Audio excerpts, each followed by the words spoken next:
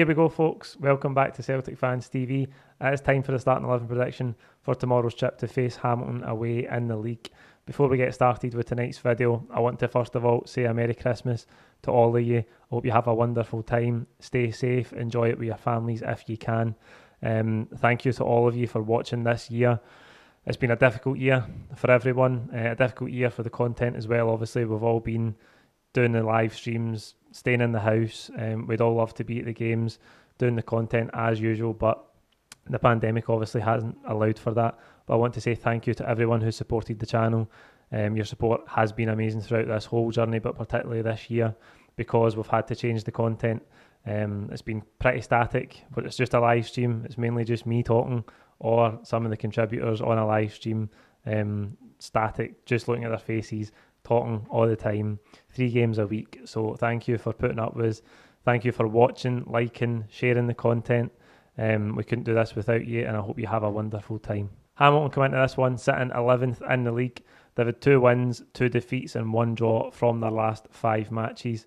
They did get a good win against Ross County last week that resulted in Stuart Kettlewell losing his job, but they are embroiled in that relegation battle down there. For us, we got a decent win at home against Ross County themselves uh, on Wednesday. So it's another win. That that's three in a row now, four in a row if you count the cup final as a victory as well, which it was just on a penalty shootout. Um, four wins in a row, building momentum. Hopefully towards the big game in January, but this is another must win for us. In terms of the team, I don't think there'll be too many changes from Wednesday night's game. Uh, I expect Hazard to start in goals. I think it will be a back four of Frimpong alongside Ajer, Jullien, and at left back, I'm going to go for Taylor. I know Laxalt started the other night there, and this is one that's dividing a lot of supporters.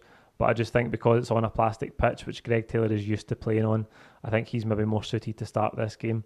Laxalt wasn't too bad the other night, but as I said, I just think he's a wee bit like a headless chicken at times, a wee bit cavalier. And when he gets into those crossing positions, I think his quality and use of the ball could be much better.